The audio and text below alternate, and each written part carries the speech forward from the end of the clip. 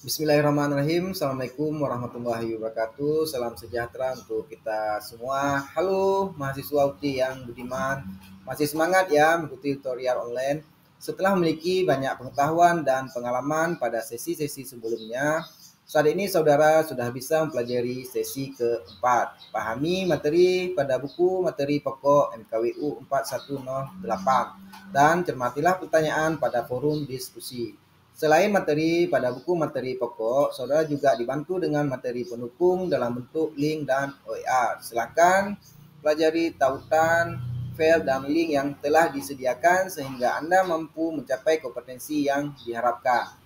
Selain itu, tes formatif dibuat untuk mengukur kemampuan Anda dalam memahami materi dalam inisiasi kali ini. Pada sesi 4, Anda dikenalkan dengan cara mengungkapkan gagasan dalam situasi formal dan non-formal yang dapat dipelajari melalui dua kegiatan belajar.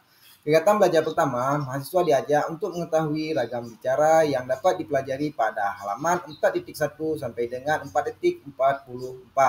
Pada kegiatan belajar kedua, mahasiswa diajak untuk mengetahui tentang berbicara formal yang dapat dipelajari pada halaman 5.1 sampai dengan 5.42.